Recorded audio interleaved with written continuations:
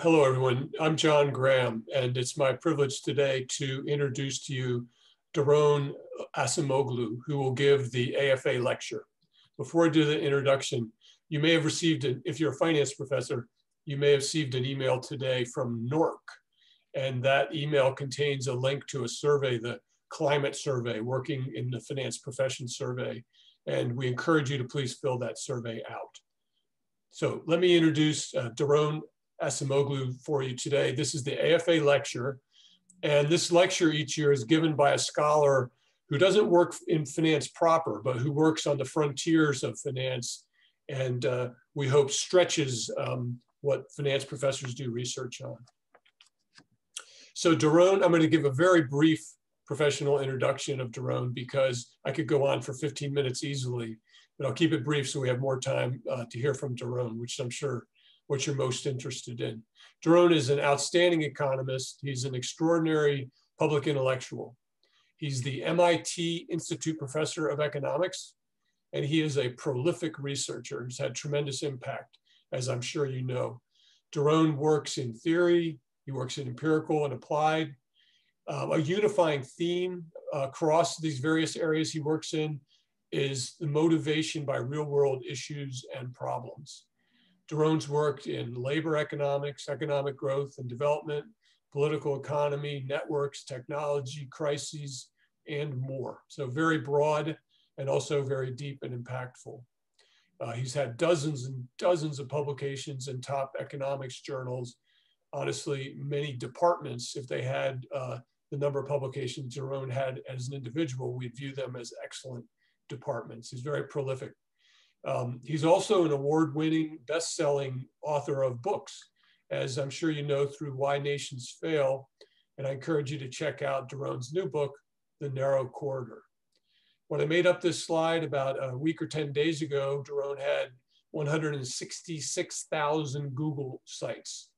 And I would suspect by the end of this week, he might be up to about 170,000 because of the great impact of his work. Daron has won numerous awards for his research, the John Bates Clark, John Bates Clark Medal, the Frontiers of Knowledge Award, Carnegie Fellowship, Laffont Prize, Global Economy Prize, to mention a few. And for several of these, he's been the youngest economist to ever win these awards. Not only does Daron have an incredible research career, but he has, is also uh, contributes to the field through his teaching and service. He has advised a mind-boggling 100 or more PhD students. And while that quantity is, is hard to fathom, the quality is there too, as is evidenced from uh, Daron having won MIT's Committed Caring Award, which is a university-wide award where grad students pick um, the best mentors and advisors, and Daron's won that award also. He is also the fellow of many organizations, the National Academy of Sciences, American Academy of Arts and Sciences, Econometric Society, the European Economic Association, Society of Labor Economists, and the Turkish Academy of Sciences, to name a few. So with that introduction, we're very grateful for Daron spending time with us here today. And Daron, why don't you take it away and tell us about the effects of automation on wages, inequality, and the future of work. Thank you. Thank you very much, John. It's a true honor to be here. It's a great privilege uh, to be selected to give the uh, AFA lecture. Uh, of course, like everything else, it is online, but hopefully we can make the best of it. And I'm going to talk about the effects of technology and automation on the labor market, and more specifically, try to understand how automation is changing the labor market and how we can try to understand it at the micro and the macro level.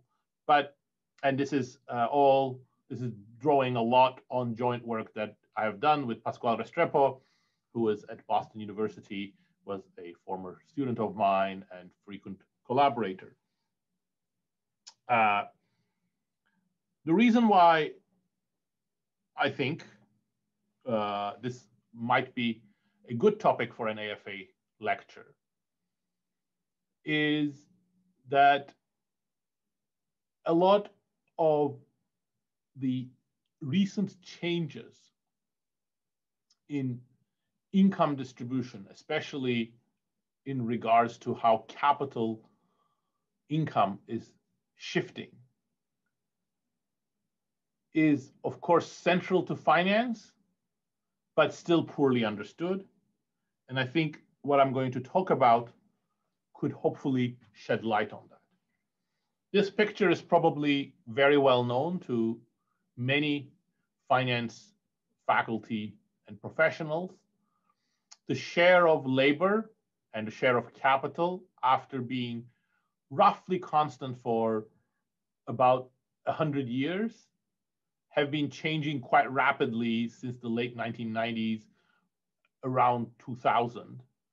And here I'm showing you the aggregate labor share in the gray line and also the composition adjusted one in the red line. In both cases, you see something in the order of about 10 percentage point decline from the early 1990s to today.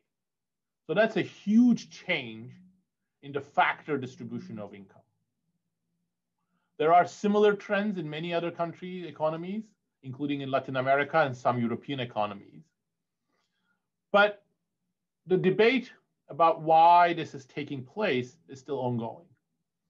There is certainly a lot of capital deepening going on. Many in finance and in macro have written about intangible capital. There's a growing literature on markups or perhaps monopsony power. What I'm going to argue is that to make sense of these trends, we really need to think more deeply about the changing task content of production.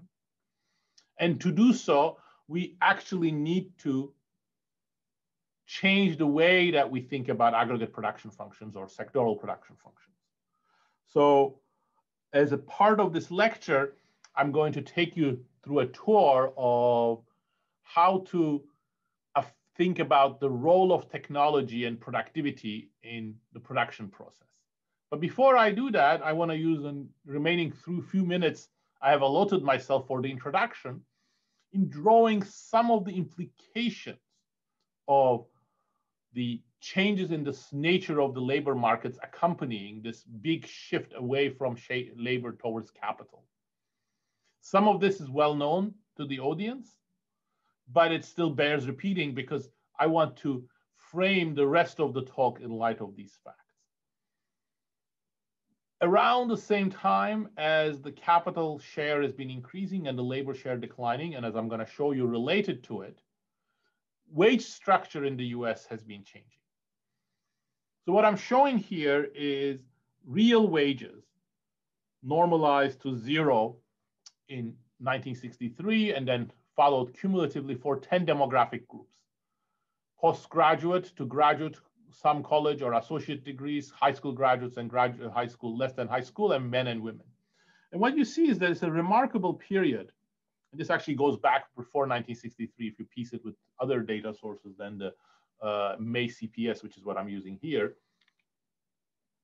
What you see is a period of shared prosperity, rapid productivity growth, going hand in hand with the real wages of all 10 demographic groups increasing pretty much in tandem. But then after about 1980s, you see two remarkable patterns, and both of those are going to be central to what I'm going to talk about. One is that there's a big gap opening up here. This is the wage inequality, which by now commands a very large literature. But equally important and clearly very connected to it is the fact that especially for low education men, the real wage is declining. So if you're a man with less than college degree, your real wages today are significantly lower than the real wages of similar workers with similar qualifications 30 years ago. Even for college graduate men, unless they have a postgraduate degree, the labor market hasn't been amazingly good over the last 30 for 30 years or so. They have done much better. The college premium is up compared to high school graduates. That's precisely because high school graduates have been doing really badly. Because women have been catching up relative to men, the decline in the real wages of women with low educations is not as steep, but you see the inequality and uh, bad labor market performance even for women with low education. Now, the vast majority of the papers on these patterns posits some sort of skill bias technological change. I'm going to argue through a number of arguments that the classic skill bias technological change perspective is not very useful. But as a first salvo in that, I want to show you that, especially over the last two decades, three decades actually, growing demand for skills does not need to does not seem to be a good description of what's going on. So this is from a paper I have in the Handbook of Labor Economics with David Autor, and what it shows is the changes in employment by skill percentile of the occupation. So if you think that what's driving the changes in wage structure are the fact that new technologies, AI, digital technologies, and so on are increasing the demand for skills, and that's really uh, sort of at the root of it, then you should also expect that the employment share of more skilled occupations should increase. And that's more or less what happened in the 1980s. So the red curve here is the 1980s pattern. But by 1990s, things actually are looking pretty different. Instead of the higher skill occupations experiencing greater demand, you have this inverse U-shaped pattern. So this middle occupations are the one that are are the ones that are contracting. These are clerical occupations, sale occupations, and especially blue collar occupations. And by the 2000s, completely different. A lot of the jobs in the US are from the bottom of the wage distribution. So something much different than the simplest skill bias technological change view. And these trends are not unique to the US. I'm going to show a lot of data from the US, but some there are some elements in this story that are US specific. But the broad technological changes aren't. And one way of seeing that is this picture, which shows how the distribution of employment has changed from early 1990s to mid 2000s in much of Europe. And the or the the the the, the brown, the reddish brown, maroon bars are for the middle third of the occupations. Again, the same clerical production blue color occupations I pointed out in the previous figure. And they're all heading south, meaning that they are all contracting in every country. So what I'm going to do in the rest of this talk is first explain why these facts and a holistic understanding of the changes in the wage structure and the future of labor market requires new theory and I'll give an overview of that theory in the process also explaining what's wrong with the existing theory in my opinion. And then I'll show you that this theory enables a different way of looking at the data and I'll show you much more on what's going on in the US and in the process also link both the share changes in the share of labor and also wage inequality to the nature of new technology. Daron, let me insert myself. Sorry to interrupt. I think I forget forgot to say at the beginning. Please enter your questions into the Q and A as time goes on. And Daron, we've dedicated a lot of time at the end to answer those questions. So anyway, if you're typing them into the Q and A, we will eventually get to them. Thanks, John. Excuse me. All right. So let's jump into the theory. So what I'm going to argue is that to have a satisfactory understanding of modern technologies, and for that matter, for historical technologies and their impact on productivity and labor demand, it is particularly useful to think in terms of tasks. What I mean by tasks are the discrete units in the production process that need to be completed. So if you need to, if you want to have a piece of garment reach the market, you know, you need to start with uh, spinning and weaving. Then you need to do designs and you need to do carding and uh, stitching together and then coloring and other chemical processes.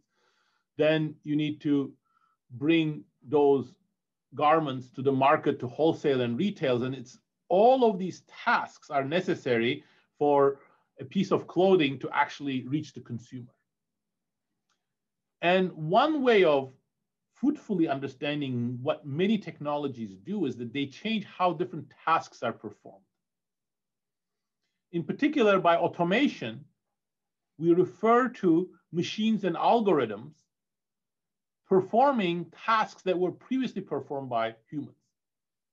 This has happened in agriculture, horse-powered reapers, harvesters, threshing machines, and then later tractors replacing manual labor.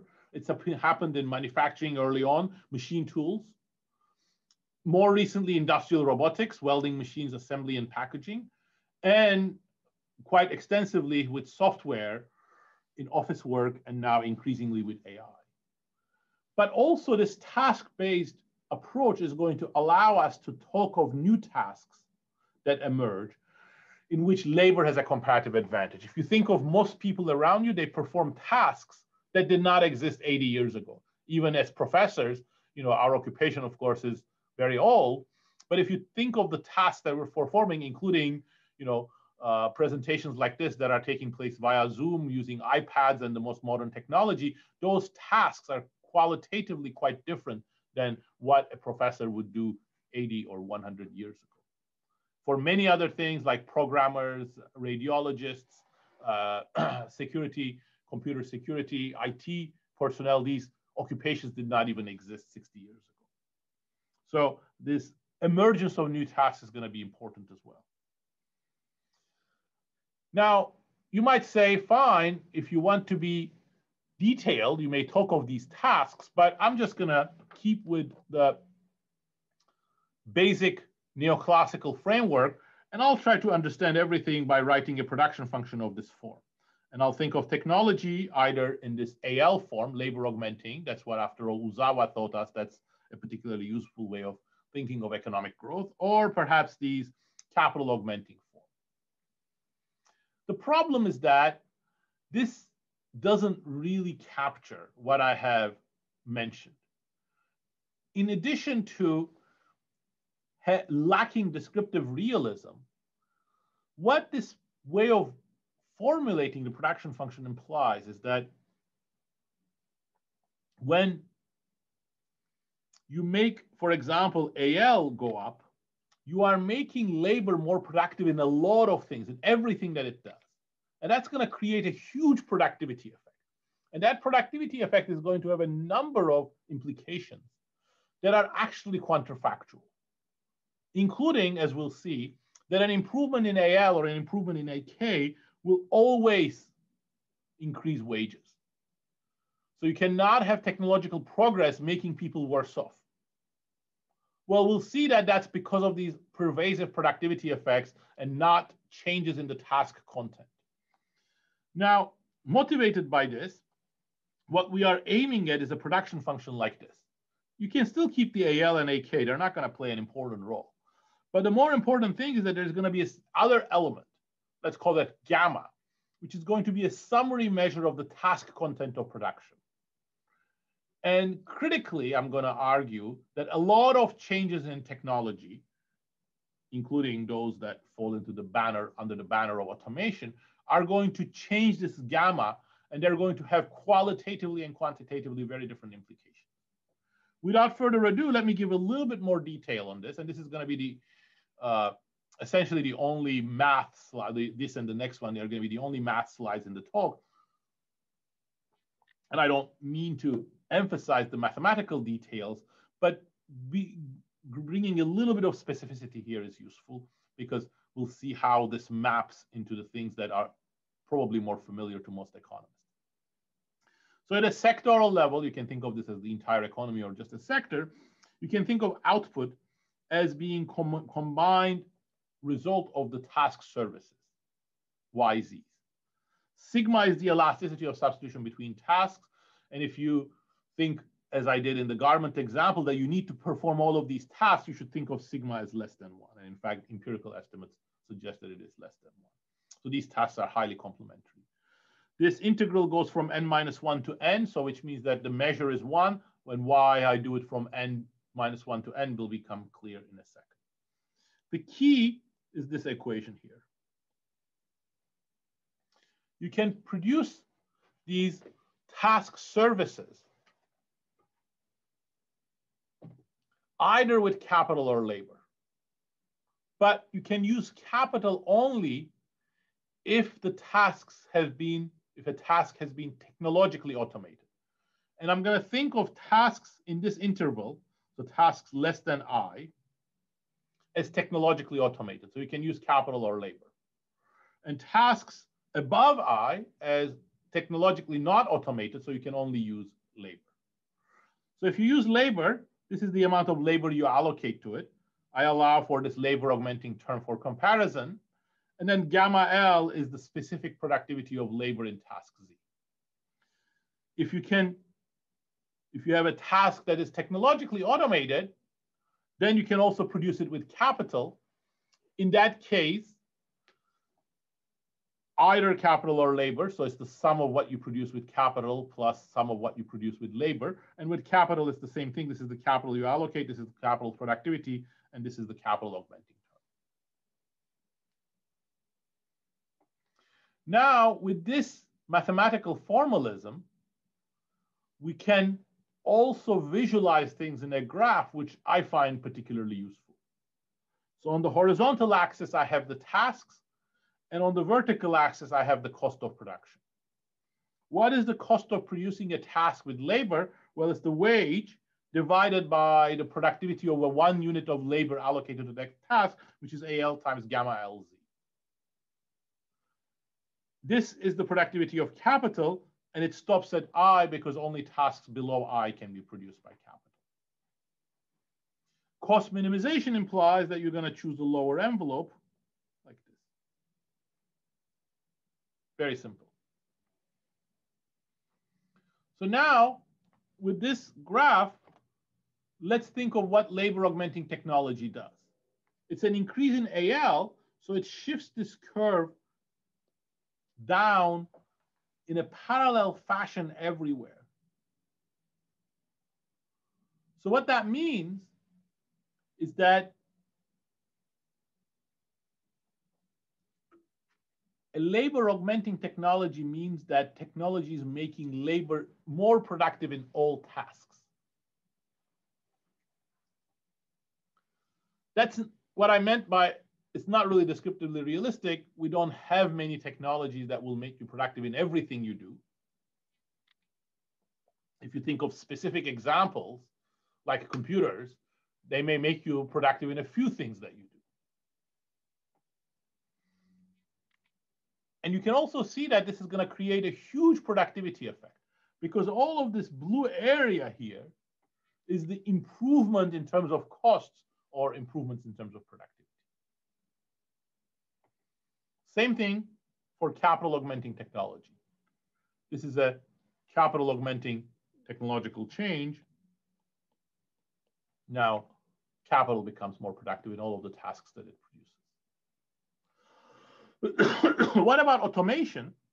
Automation, as I mentioned, is the technological process via which tasks that were previously performed by labor now can be performed by capital.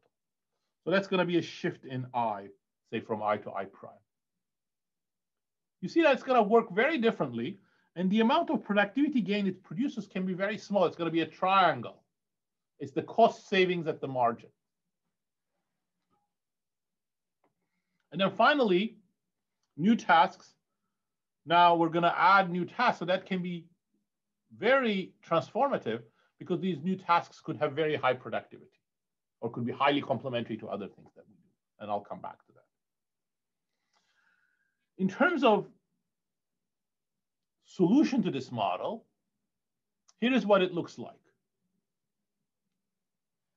Once you solve the model, which I'm not going to do, output can again be expressed as a function of labor and capital in the economy. And this looks very similar to a CES production function, the most common one that macroeconomists, labor economists, and finance economists use. But with a big difference, these terms that we normally ignore or are constant in the regular CES are now endogenous. And that's where the task allocation, the task content of production resides. In particular, if you look at what the labor share is, it can be expressed in this way. The blue terms are the ones that you are used to. Wage divided by AL to some power 1 minus sigma. And that's why sigma greater than 1 or less than 1 makes a difference when you look at the effects of labor augmenting or capital augmenting technologies. These are the blue terms that you are familiar with. But actually, there is a completely separate set of terms, the orange terms, that are almost separable from the blue terms. And that's where the task content of production comes in.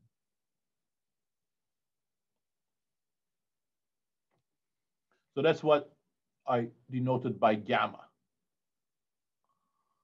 This gamma term is always decreasing in I and increasing in N. It looks a little complicated, but it's actually very simple. And for example, if you take sigma close to one or the gamma L and gamma K not to be very steep, it is approximately or exactly N minus I. More new tasks increase gamma, more automation reduces gamma. Also note that because gamma is monotone in I, automation always reduces the labor share regardless of the value of sigma. The fact that the effects of technology depends on sigma when you look at the, its impact on the labor share was, I think, a bit of a nuisance. That's not the case when you look at this task space and look at the effects of automation. What about labor demand? Well, let's look at it and we'll see that once you understand the previous slide, labor demand then follows immediately. So let's look at the wage bill, W times L. That's a comprehensive measure of labor demand. Well, that can be written as output times labor share. So I'm ignoring markups and non-competitive elements for now. We can come back to them later. And then let's imagine we look at the impact of automation. Well, that can be exactly decomposed into two terms. A productivity effect. This productivity effect here is positive. The more, the greater is the productivity, the more you want to pay to labor because you want, the more you want to hire labor. That's exactly this here. This is the productivity effect.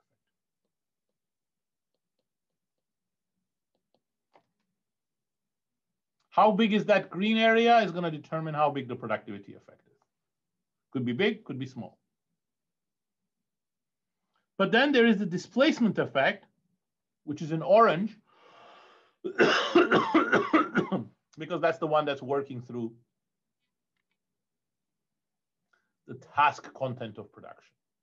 And it is always negative. Now, two implications. One of them we've already highlighted, but let me stress it again. Automation always reduces the labor share because of the displacement effect. The productivity effect keeps the labor share constant, displacement effect, boom, labor share goes down. But the more important implication is that the displacement effect can be easily greater than the productivity effect. So automation, even though it's improving productivity, could actually reduce labor demand. Not just lower labor share, but lower labor demand.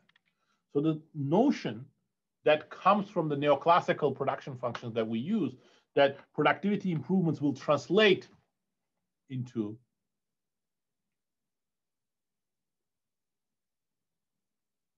higher demand for labor and higher wages, that's not necessarily true. In particular, you can think of brilliant technologies, the ones that many people in the public uh, public uh, discussion and many people now in finance talking about AI, big data, etc., are talking about if there's a really very high productivity technologies, in contrast to what's sometimes claimed in the popular discourse, they will be not so bad for labor because they will create a large productivity effect. But the problem is what Pascual and I call so-so technologies. They create large displacement effect, but small productivity gains. In that case, this one is close to zero and the displacement effect dominates. So it's the low productivity, not so productive technologies, and I'll come back to that again. Factor augmenting technologies, they don't create any of that displacement effect. They have a productivity effect that could be very large. Why? Because they are increasing the productivity of labor in all the tasks. That's why it scales with the share of labor or the share of capital. And then there is a substitution between the tasks produced by capital and labor. That's why sigma minus one comes in. But it works very differently than the task content changes that I have emphasized. What about new tasks? New tasks work the opposite way to automation. They create a productivity effect, which could be large, but they also create a reinstatement effect because they create new tasks in which labor can be reinstated. Now, with all of these, let's look at some data. This was the theory part. From now, the rest of the talk is going to be data. I'm going to look at data in light of these ideas, and we'll show you, hopefully, some new and interesting patterns that will solidify the utility of looking at the data through these lenses and then reveal some interesting perspectives about the future of labor. Here I'm showing you where labor share declines comes from. This is 1947 to 1987, four decades after World War II. And you see this is the sort of period of more or less shared prosperity. For most of this period, labor share was constant, not just in the aggregate, but also within broad sectors, manufacturing, construction, uh, services. Mining is the only sector in which you see some declines, uh, and that's mining is a small sector. What about the last 30 years? This is when you see this decline in the labor share. But it's not everywhere.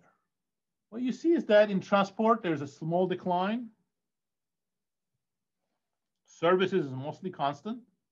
Agriculture is constant. It's driven by manufacturing, that's the biggest one, and mining. Again, mining is small, but there's a big decline in labor share. So manufacturing and the effects of manufacturing technologies are going to be critical if we want to understand what's going on with the labor share.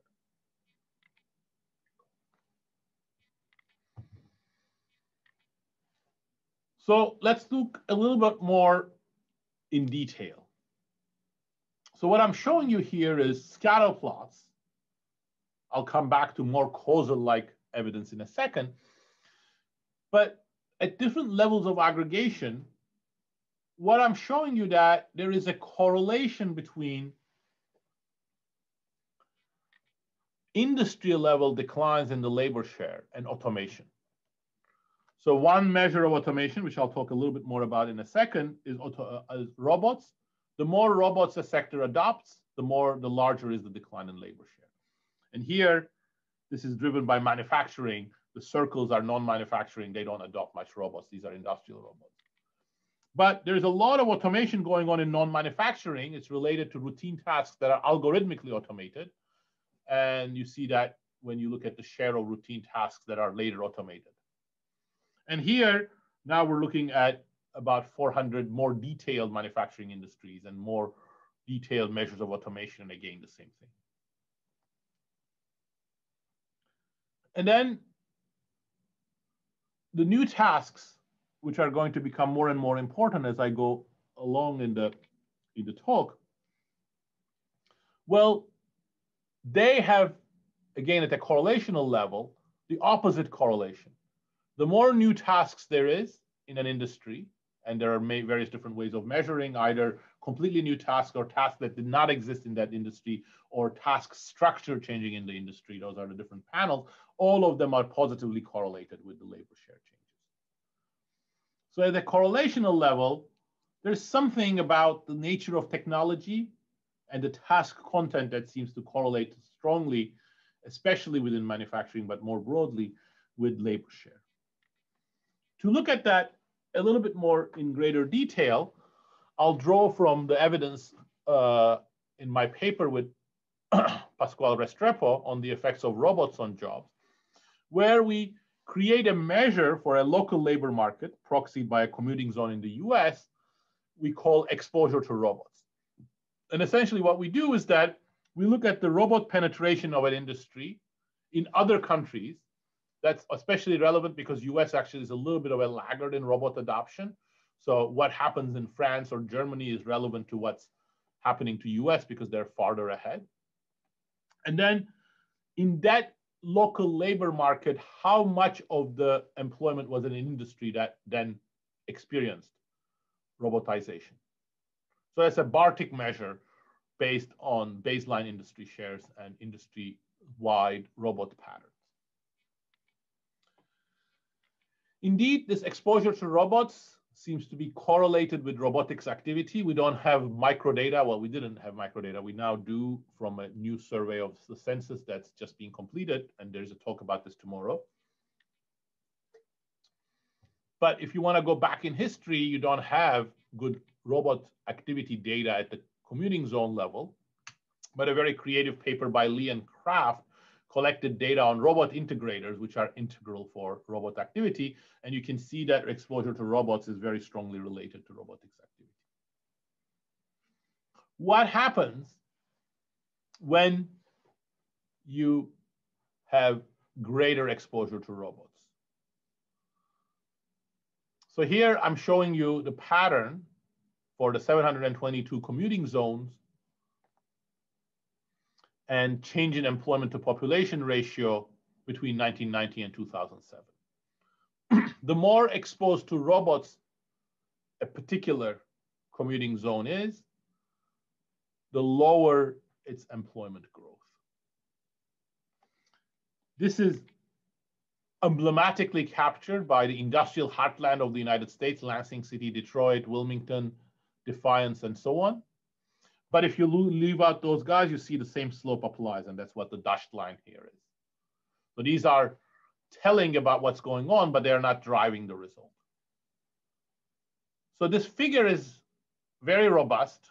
Here you can control for whatever you want in terms of pre-trends or uh, other explanations such as offshoring or imports from China or Mexico there is a real robot specific aspect to this that this relationship is capturing. So what it's saying in essence is that even though robots are one of the most important technologies for modern manufacturing, they have clearly increased productivity and we find that as well, employment and wages go down. And wages is the same thing as here. So it is very much what I showed you in the theory that productivity goes up, but labor doesn't benefit. Actually, labor is harmed by the productivity increases because precisely robots are taking over tasks and changing the task content of production.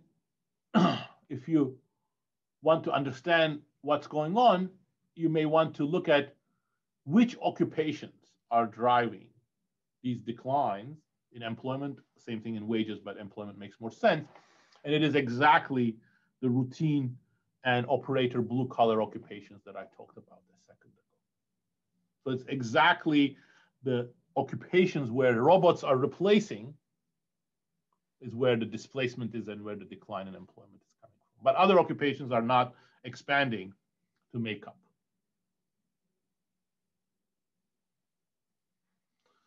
So these are emblematic of the effects of automation technologies. But of course, one would really want to understand at a more micro level what's going on. And for that, you need more firm level data. and as I said, in the US, we don't have the firm level data, but in France, with the heroic work by Claire Lelarge, we were able to construct a comprehensive data set of robot adoption in French manufacturing using a variety of distinct data sources. And I'll now show you the patterns from there. So about 1% of firms purchased robots between 2010 and 2015 in France, but they are the large firms, so they make up 20% of total manufacturing employment or output. This is a different way of seeing that. If you look at the size distribution, these are the small unlisted firms. They don't adopt robots. So the robots are very relevant for the firms that, you know, in many finance applications we focus on. And they are the, uh, this robot adoption is driven by this black firms, which are in industries that have these high average penetration that I showed you earlier on. So let me try to describe the data by reporting results from a regression. I'm going to report outcomes at the firm level as a function of a variety of controls. Firms own robot adoption, but for reasons that are going to become obvious, we're also going to look at adoption by competitors. And your competitors are the firms that produce in other sector in sectors in which you are active. So these are four digit industries. And then for non-tradables, we also use commuting zone, but that doesn't really matter too much. Let me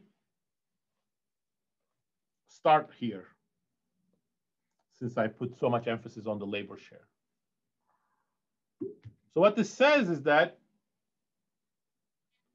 if you adopt a robot within five years or within six years, your labor share declines by four and a half percent. That's a huge decline in France. I'll show you that in a second. So indeed, automation is associated with a decline in labor share. Again, the heart of the framework that I'm building. Robot adoption by your competitors doesn't affect your labor share.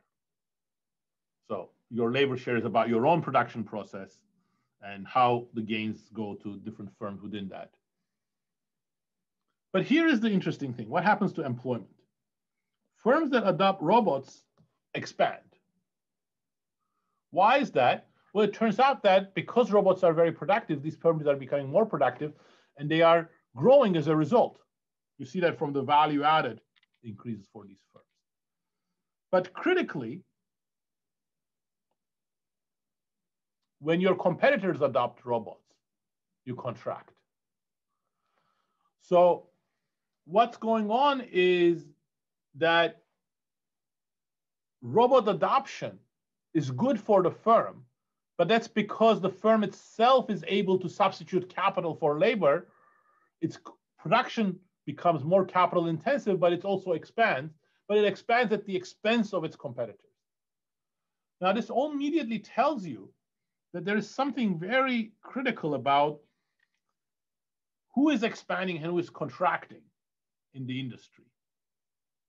And that's actually related to this important paper by David Autor, Christina Patterson, Larry Katz, and John Van Reenen and David Dorn on superstar firms. And what they do is that in the US, they decompose the change in the labor share into a within firm change and a superstar effect, changing the covariance between labor share and value added.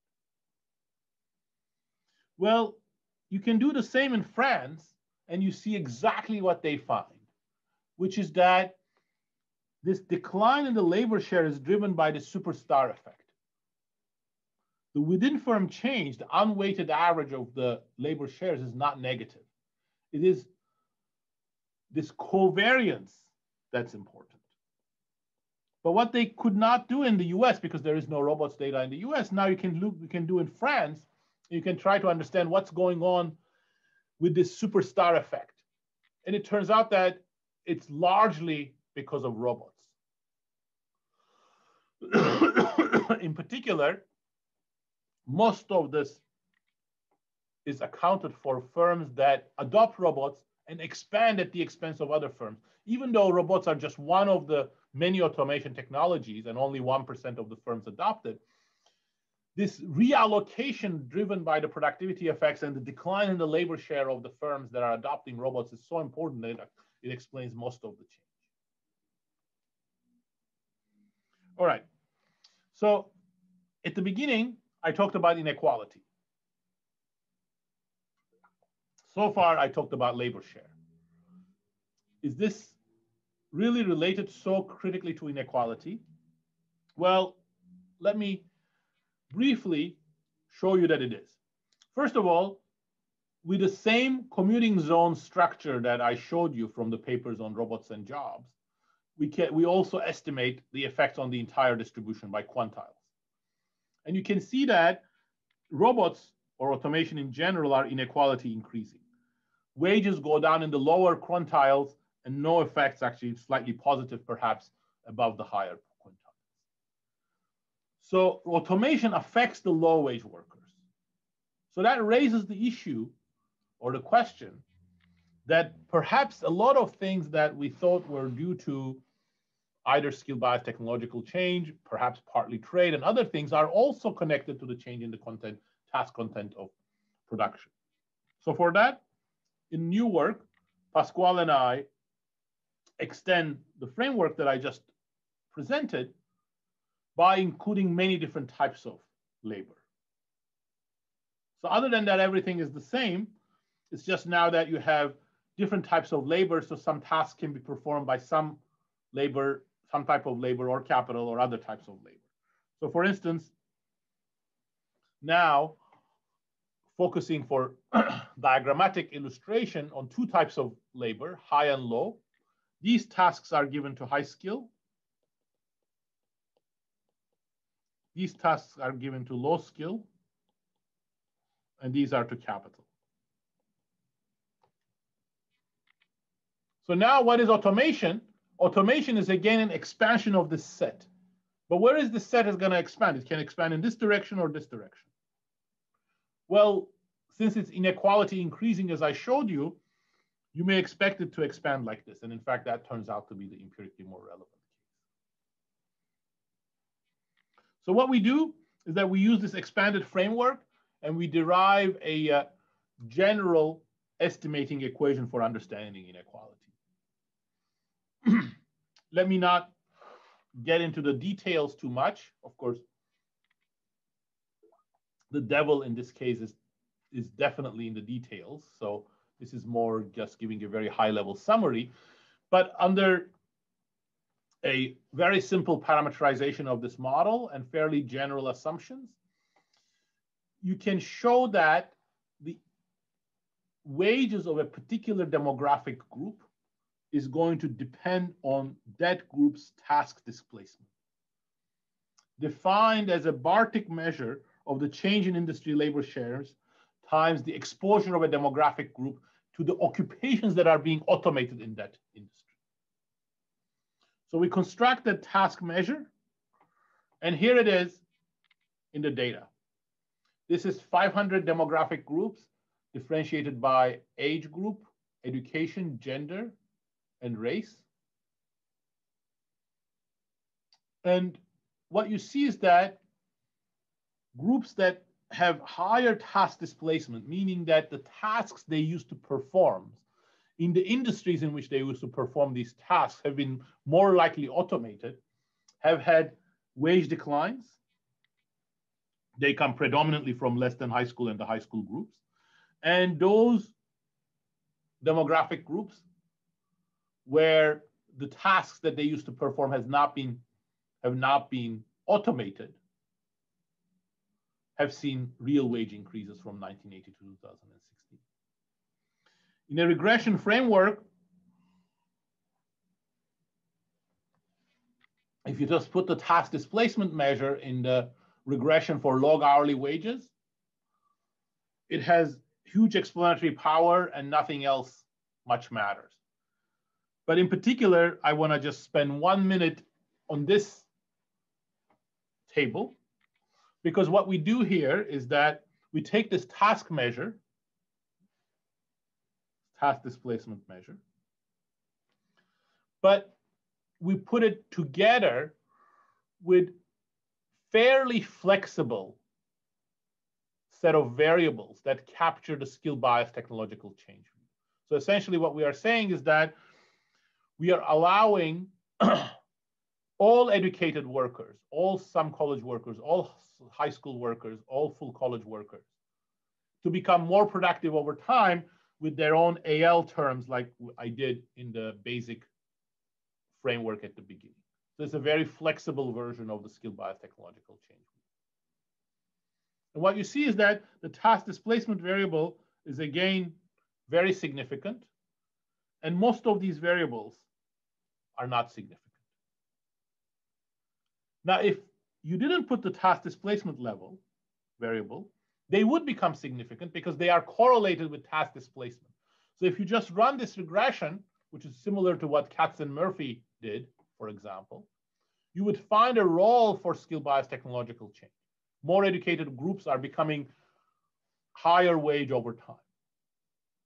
But that's precisely because this one is being absent in that regression.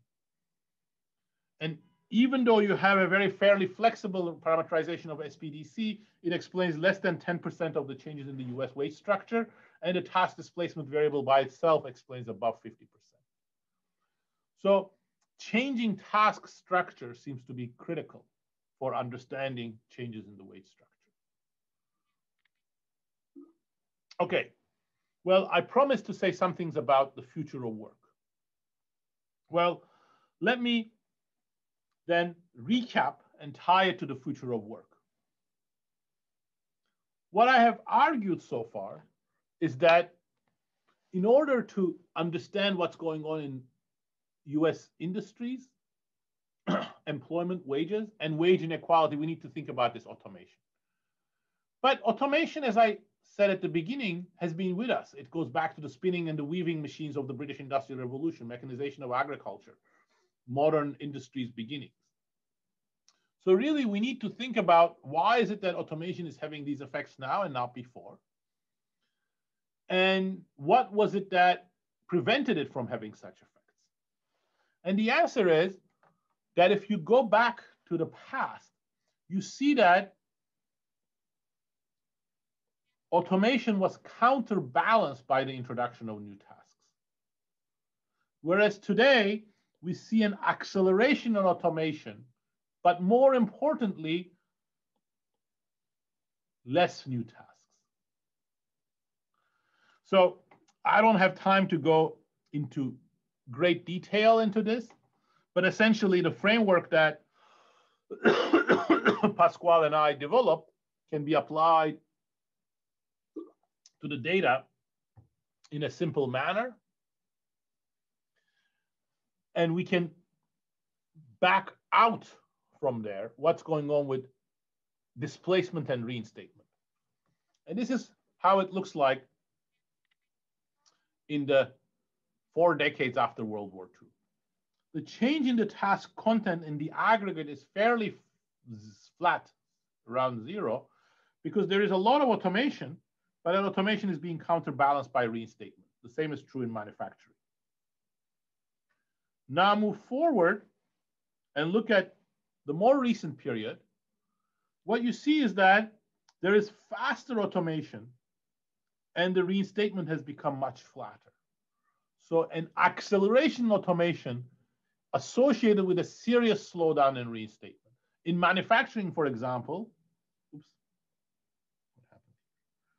in manufacturing, for example, you see the red line really going very fast to negative and reinstatement is very, very flat.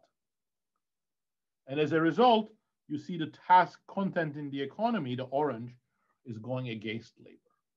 And that accounts, we find, for most of the changes in the labor share. So why? Why would we see this adverse move against labor, against new tasks and in favor of automation? Well, to answer that question, you really need a framework with endogenous automation. And that's what Pascual and I developed in our AER 2018 paper. And of course, I'm not going to go through it other than to say that essentially, since you have these I and N, really any endogenous technology model of automation and new tasks is going to be a differential equation for I, the differential equation for N, and you have some resource, let's say scientists who work in either developing new tasks or developing more automation technologies. And that's essentially the basic structure that we have. But think about it like this. The zero profit condition here is going to be a condition like this, or the innovation balance condition. You can make some profits from new tasks. You can make some profits from automation technologies. And there is a task tax structure, subsidies or taxes on different things, on capital and labor, for example. And then you may also have some different expectations about what research in different fields are going to do. Those are the productivity of research in different areas. what we show in that framework is that there are natural equilibrating forces. More automation reduces the labor share that may make more new tasks more productive. But even though you have equilibrating forces, equilibrium that is balanced is not guaranteed and is not generally efficient. In particular, there are many reasons for inefficiencies, which may often take the form of excessive automation.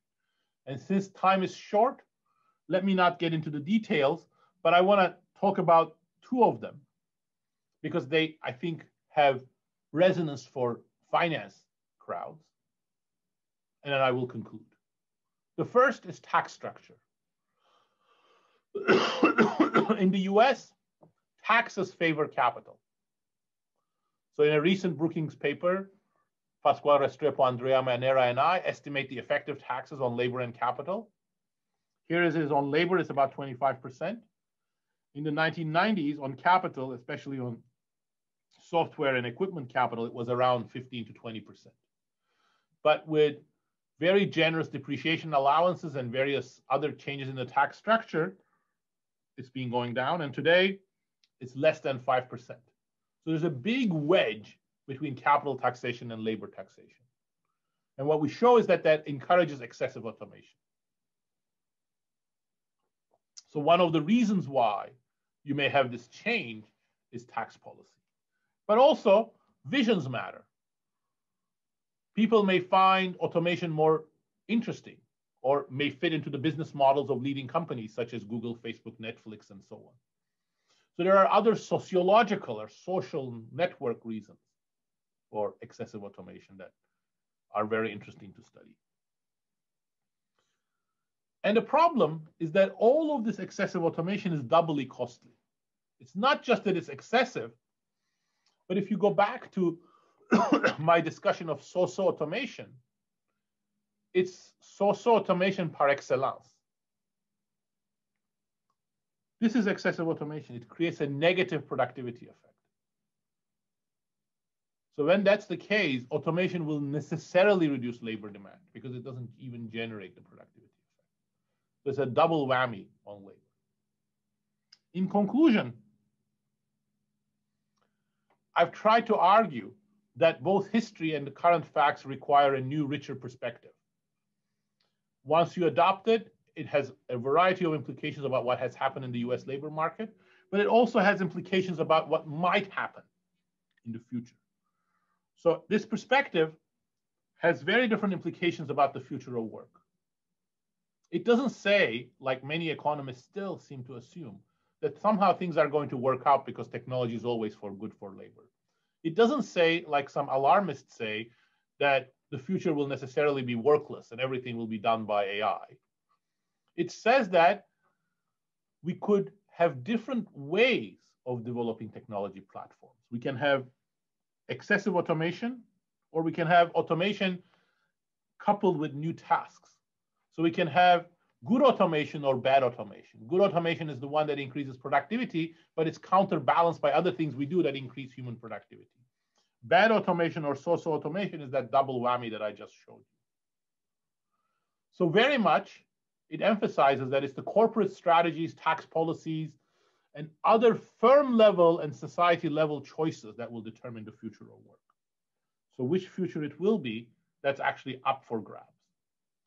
Thank you very much. I think I have slightly exceeded the 45 minutes that I was aiming for, but I now look forward to the questions and comments that you have. Thank you.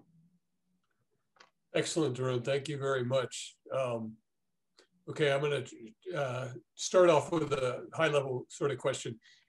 Do you have any uh, advice for introductory resources or textbooks for people who are new to this area who you know, enjoyed your talk and wanted to get started doing some research in the area? Well, unfortunately, no. I mean, uh, I'm guilty as charged. Uh, in 2007, I published a book on Introduction to Modern Economic Growth, and none of this material is in there because guilty as charged, like the standard perspective, I thought, well, the simplest framework is AL and AK, and that's the one I will stick with in, a, in an introductory graduate textbook. But now, if I were to write that textbook again, I would put much more emphasis. So, an introduction to this is given in uh, the, for example, the uh, Journal of Economic Perspectives article that I wrote with Pascual and published last year called Automation and New Tasks. Uh, and, uh, and that sort of spells out at a very low basic level, sort of the math and the conceptual points. Okay. Uh, here's another one kind of building from where you ended, I think uh, if you were going to make a prediction for 10 years from now that we could test your your theory on or, or at least tr the trends based on your theory what would what would that be? So what do you anticipate in the next decade? I i don't know because you know as i've just indicated at the end it's really up for grabs. I can make a prediction based on current trends continuing.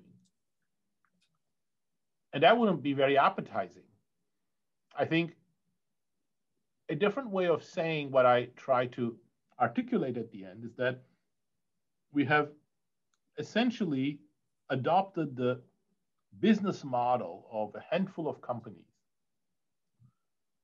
big tech in particular, as the technology policy of the US.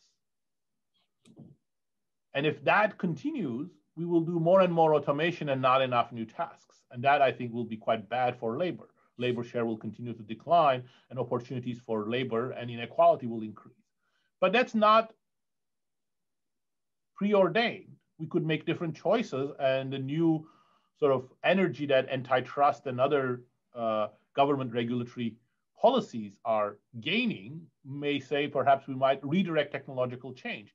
We have successfully redirected technological change, for example, when it comes to renewable energy. It could be possible in other domains as well. Okay. All right. Here I'm going to ask now some of the other questions in sort of the order they were asked, meaning they'll probably line up with roughly the order of your presentation. Uh, Rick asked a question. In that graph you had on real wages, there was a sort of an inflection point around 1980 um, and the separation as well as the, the uh, growth in one and, and reduction in another. What do you, was there, that kind of seems like a specific event may have occurred rather than some gradual trend. Do you can you attribute that to any kind of specific event? No, I don't think so. Uh, it does look like a real inflection, but it depends on which data set you use. Okay. So if you look at the May CPS, it looks very inflection point like. If you use the March CPS, it looks like it started a little bit earlier and it's smoother.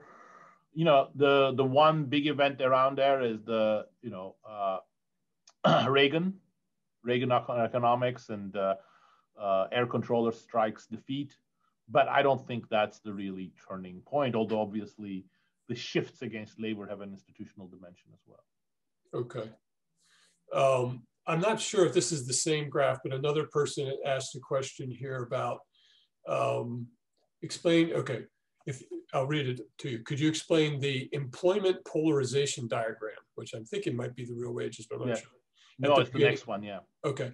And explain why your theory would explain growth in low wage occupation employment starting in 2000 and not before.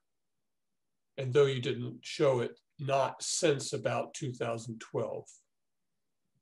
Right. Uh, so essentially, the theory is a bit silent on that. So what happens is that if you agree with sort of the verbal argument I gave that many of the automated jobs are in the middle, what's going to happen is that you're going to dislocate these workers. So these workers need to go somewhere. Where are they going to go? They can go to lower occupations or the higher occupations. In the theory, where they will go depend on the steepness of the comparative advantage schedules on the left and the right. If the if the one on the right is very steep, then they will all go into the low wage occupation. And essentially, you know, if you look at the US data, uh, the number of postgraduate and college graduates hasn't increased all that much since the 1980s. So then the high wage occupations growing would require that workers who were previously in the middle occupations would go there. And it looks like many of them went to the lower occupations. Okay. How would you think about the British Industrial Revolution, textile manufacturing, and the power loom in light of your theory? Yeah, I think this is very much one of the motivating facts.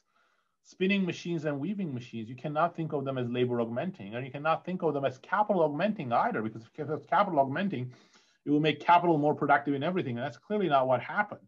What happened is exactly that a group of workers, the skilled artisans, the spinners, and the weavers, got dislocated. And in fact, very similar to what we're experiencing today, there wasn't much of a wage growth.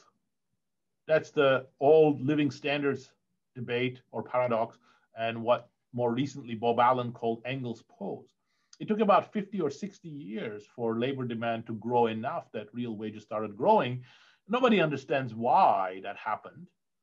But I think what this perspective would suggest is that these new tasks, new organizations that really fueled labor demand came much later. Okay.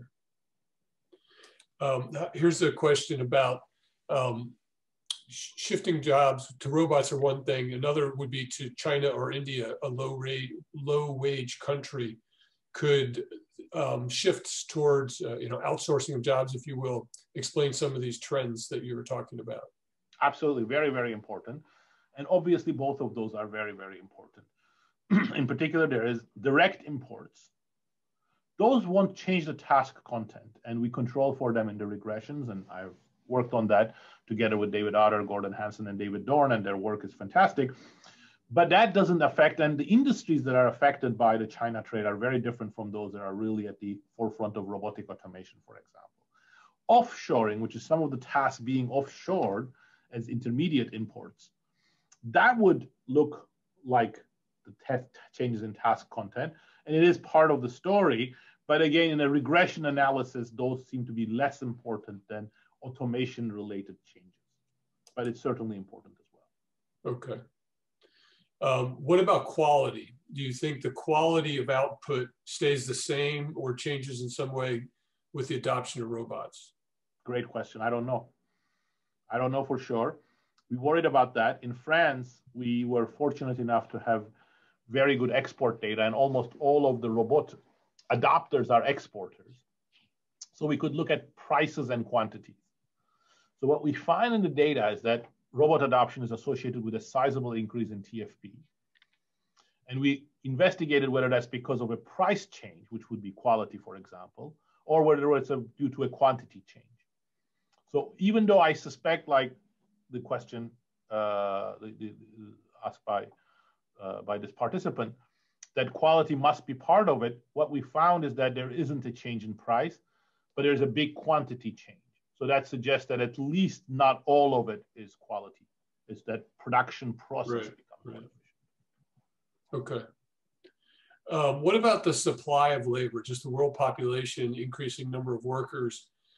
What role could that play, uh, you know, through your theory or just in general with these trends? Yeah, so uh, the world population, that's going to work through trade. And again,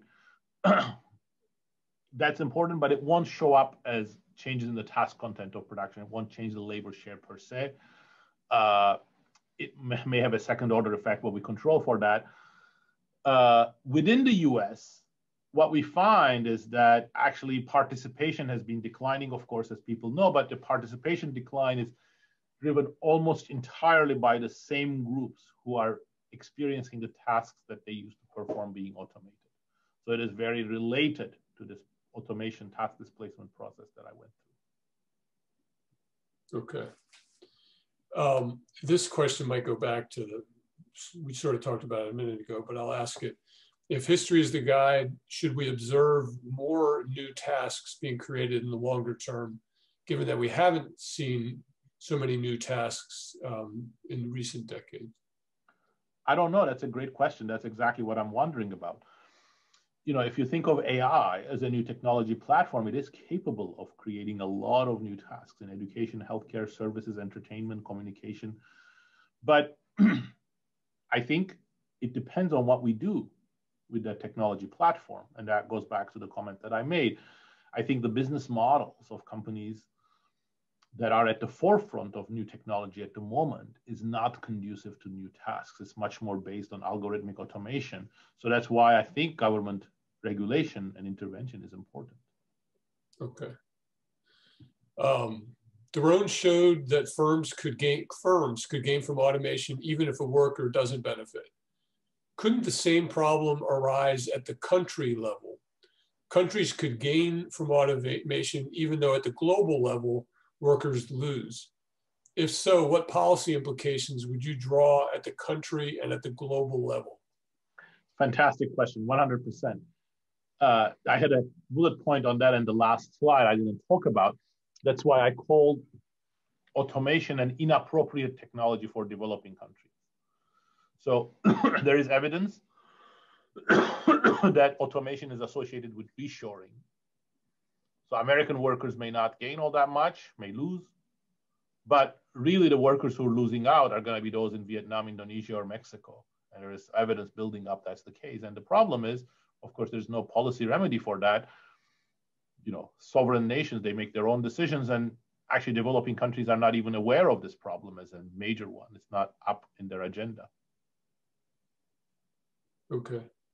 Um, can you give an example of so-so automation? Self-checkout kiosks. I don't so, think anybody expects them to revolutionize production or increase productivity. They're very annoying for many people. They save labor costs, but they're not really gonna increase labor demand all that much. Okay. Uh, how much uh, Let's see. I see Erik Brynjolfsson has. Uh, yeah, yeah. I don't know how to do Let me see. Oh, could the ASA, ASSA support person tell us how we uh, recognize somebody who's raising their hand? Well, I'm going to keep going until we figure that out. Um, sorry, now, Daron, these are new questions I haven't read yet, so that's why I'm going a little slower. Sorry about that. Uh, care work is difficult to automate. What if society invests heavily in care work for the very young and the very old? I think that's definitely part of it. Look, education is another area which I think some parts of it are very easy to automate. You can have algorithms do the grading, and you can have MOOCs and other things that eliminate teachers. But actually, real effective teaching requires a lot of human contact, and you can have a lot of new tasks, much more uh, teaching to the needs of specific types of students. Uh, I think those are all things that we could do, but it would require resources and it would require a redirection of technological change. I agree.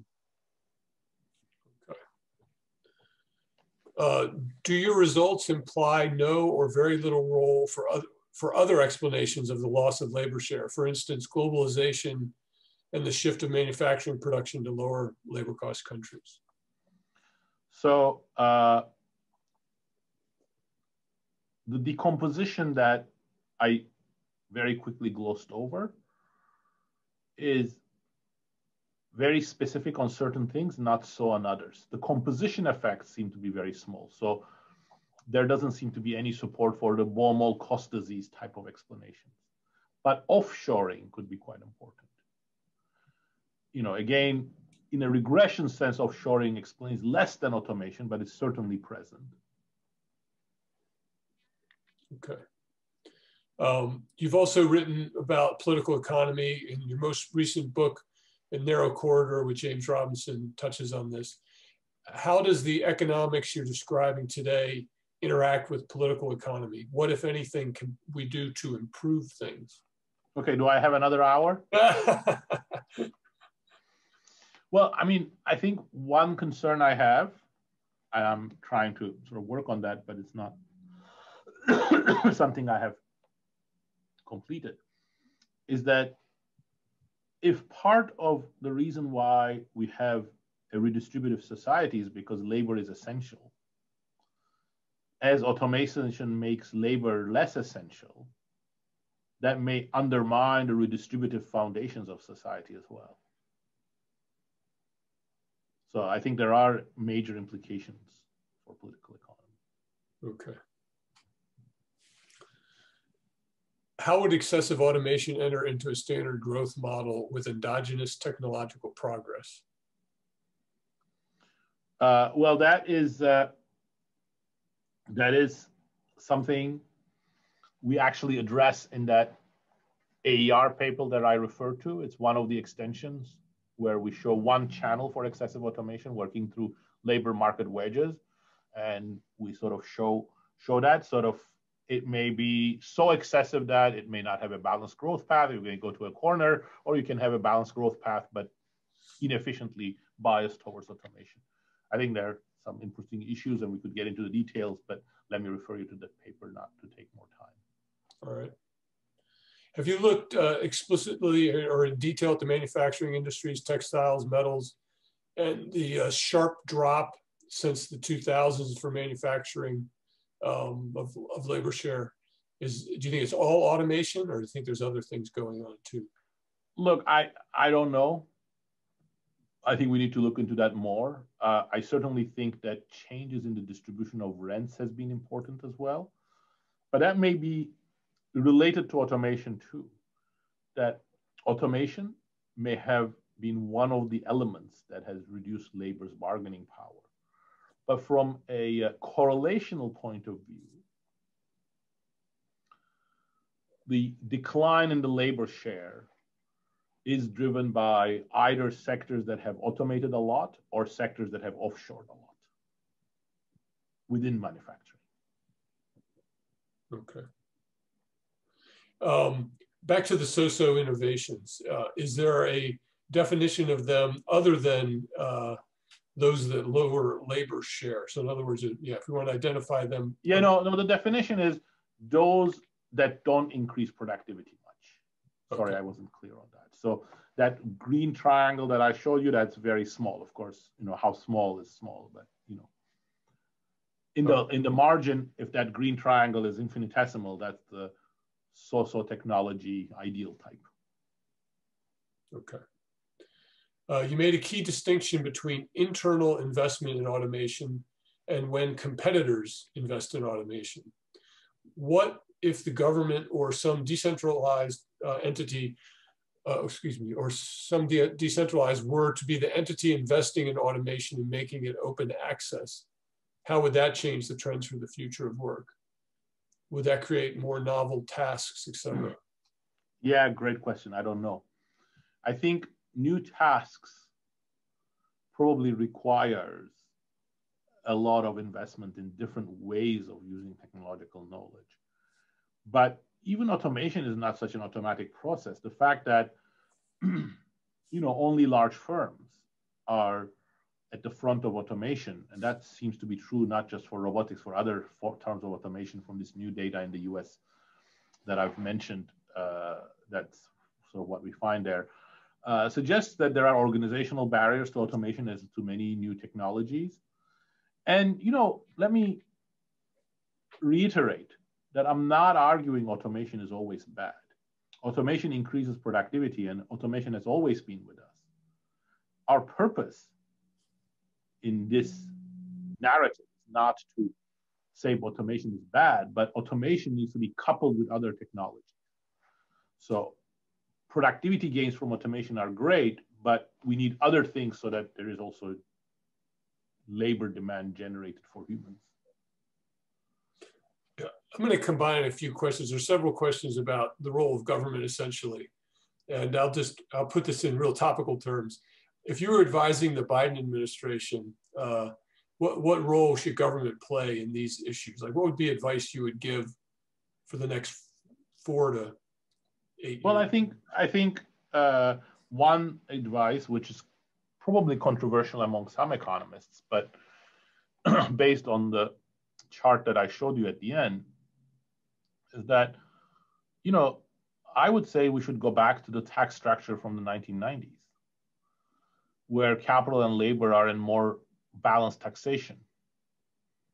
That would be good for raising more revenues, and it would be good for eliminating tax incentives for adopting machines. Some companies, if they do debt financing and they're S corporations, they actually get about three or four percent back in net from the government when they automate. Now, on top of that, I think we need to rethink our innovation strategy, and that's much harder. But I think it's necessary, and it was successfully done, for example, for renewables, but the devil's in the detail in that one. Right. About training, reschooling, anything like that? Oh yeah. Uh, if you if you have a biased tax structure that favors capital, it also discourages investment in humans. So at the very least, you should treat investments in humans, training and so on, in the same way, in the same generous terms as investments in physical capital, but probably other things are necessary as well. Um, so you, you know, some of your graphs and your your narrative um, explained clearly that manufacture effects on manufacturing and in the service industries. Maybe there's been some shift towards that. Um, do you kind of anticipate though the same thing's going to be happening to service industries that happen to uh, manufacturing? Absolutely. Yeah. Absolutely. Yeah. I mean, there is a lot of automation in services already. But the reason why you don't see that downward trend in services is because we actually also created a lot of new tasks and services. So when I showed you that positive relationship between new tasks and labor share, that was because some service industries were creating all these emerging tasks. So if we go down the path of AI as an automation technology, and again, AI does not need to be an automation technology. AI could be something very different than automation technology. But if we use it as an automation technology, then we'll see the same thing in services. Okay. Uh, let me see here. What are your views on what automation means for aging societies? Does aging Fantastic slow down? Question. Pardon me? Go ahead. Fantastic question. So actually, Pascual and I have another paper on demographics and automation. And in fact, that's a, a fantastic example of good automation. So in places like Germany, Japan, South Korea, there's a real shortage of labor, and automation has been at the forefront of dealing with that. And in fact, cross countries, about 40 to 50% of the variation in automation is explained by demographic change. Okay. Let's see, I'm having a hard time, though there's so many questions coming in, which is great. Um, ah, well, if you have uh, if, if you have views on this, what are the most important implications for this research on asset pricing, asset bubbles, asset pricing theory, et cetera? I was hoping that people would be intrigued to investigate those questions. Obviously, any technology that has major implications on the capital share of income will have implications for future dividends and returns on capital, and therefore it will have implications for asset prices. So I think you know many of the models of asset prices are also dependent on the way in which we assume technology comes into the production function. So I think it will have implications, but I haven't worked them out. I hope people who are experts in that area will. What would you look for for clues on whether the most recent trends are temporary or permanent? Great question. I don't know. I think they are. They have been going on for you know two and a half decades at least. So they're not a blip. But I think whether they are permanent or not will depend on policy and social choices. Look, again, I will give the example. It's a bit trite because I've said it three times already, but it's like climate change. If you look at it from the vantage point of the 1980s, you would say climate change is inexorable and it will go worse and worse. And it has gone worse and worse in some dimensions, but we have also brought renewable technologies to a cost effectiveness with fossil fuel. How have we done that? Well, because society changed its demands for different types of energy from cars to home energy, and research changed a lot. We poured billions of dollars into renewable energy. So I think the future is up for grabs in that respect. What is your prediction about what will happen to the education industry? Good question. I don't know. I mean, we, we will, we have, we are, education industry is one of the sectors that has least been affected by AI and by algorithms in some sense. But Zoom is just one example showing that we're going to be using technologies in very different ways. Zoom is actually is not an automation technology. It's actually clearly augmenting what we do as humans. But imagine we can also find ways of algorithmically replacing many of the things that we do from grading to lecturing to uh, comments. You know, there are applications of AI in other fields already that uh, that you can take out the trainer and AI programs can give advice to novices. So you could go down that way. I don't think that would be a great way for the education sector to go, but it's going to be a choice that of educators as well as of governments and the technology sector. Okay. Let's go back to kind of like international um, perspective. If let's say you have China and Germany um, using a lot of robots, what, what would you think the US could do relative to that? Is there any sense that the US can choose not to automate as much, or is that a futile? Can I take the fifth on that one? No, yeah, no, that's a really thorny question. Uh, it's the same question that arises with other applications of AI. If, you know, China or Saudi Arabia or Iran or Russia fuel the use of AI as a technology for repressing people, you know, what can other countries do? Once the technology is out there, you know, Germany will adopt it, UK will adopt it, some US agencies will adopt it. This is the same thing with automation technologies.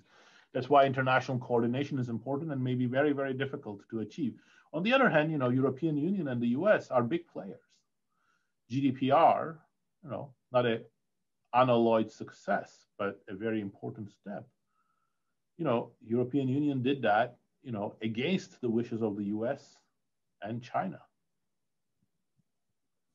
All right, I'm going to wrap it up with two two questions for you. One would be, um, you know, we just asked you a lot of questions from all different angles, and some of them kind of have negative negative uh, answers because uh, it's a big trends that are hard to, to fight against is there any kind of optimistic, uh, you know, what's a positive spin you can put on this? Uh, well, the positive spin is that AI, again, as a technology platform, is so broad and so rich that you can use it for so many things. I don't think, I don't view AI as a natural automation technology. It could be really an, an enriching technology.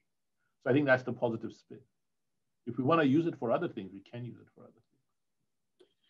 And then are there two or three topics that you would leave a bunch of finance professors with that you think are real important in this space to do do research on? We just don't know the answers to the questions. Yeah, I think I think what I would, you know, that's I wanted to mention that at the very end, but I run out of time. I think the part that I believe is central, but is extremely raw, unexplored, is what corporate strategies and the competitive competitive advantages of different firms imply. You know, what's your business model? Where does that business model come from? What does that imply? You know, is there something about the current business models of large corporations that says that they are going to go more in the automation direction or can they change? I think those are really questions that finance faculty and researchers are best placed to explore. And I think they are going to be central for our understanding of the future of technology and the future of work. Excellent. Well, thank you so much. This has been really fascinating. And uh, that was a surprising number of questions you got at the end. So that's a real good sign. Uh, we peaked out at about 315 uh, participants. So that was might be a new record for this year too. So thanks a lot, Daron. We know you're very busy. We really appreciate your time. And thanks to all the attendees uh, for coming and asking all those questions. Thanks a lot. Thank you, John. It was a true pleasure to be part of it and, and I'm honored to have been invited. And thanks to everybody for the fantastic questions. Sure thing. All right, we'll sign off then. Thank you very much.